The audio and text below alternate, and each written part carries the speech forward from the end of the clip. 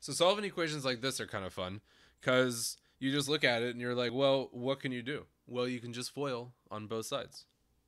So you go ahead and do that. And what do you get when you FOIL? Well, so first off, what even is foiling? Well, when you see anything in parentheses, like multiplied by something else in parentheses, and you just got a whole bunch of stuff added together in both of them, the way to think about that is you've got to multiply everything in the first parenthesis by everything in the second parenthesis. So we're going to do the 2y times the y. We're also going to do the 2y times the negative 1. So that's going to be 2y squared minus 2y. And then we're going to do the 1 times the y and the 1 times the negative 1.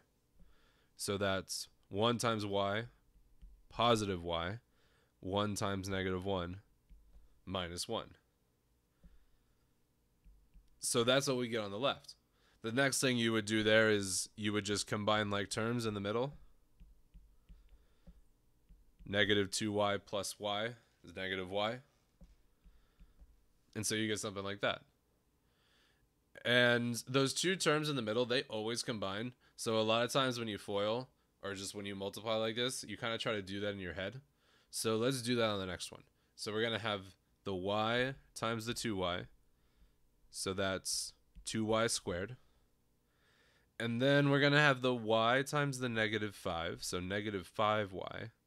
And then 5 times 2y. So 10y. So negative 5y plus 10y is plus 5y. And then 5 times negative 5 minus 25. So there we go. We just foiled both sides. And now we can combine like terms. And this won't always happen, but these problems right now are just designed to where this happens. Look how there's a 2y squared on both sides. So if we subtract 2y squared from both sides, they just go away. They just cancel out.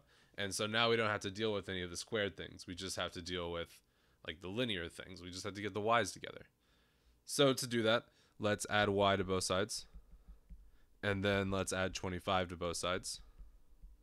So we get 24 equals 6y. And then divide both sides by 6. So y equals 4. And so for now, these are designed to get those to cancel out like that.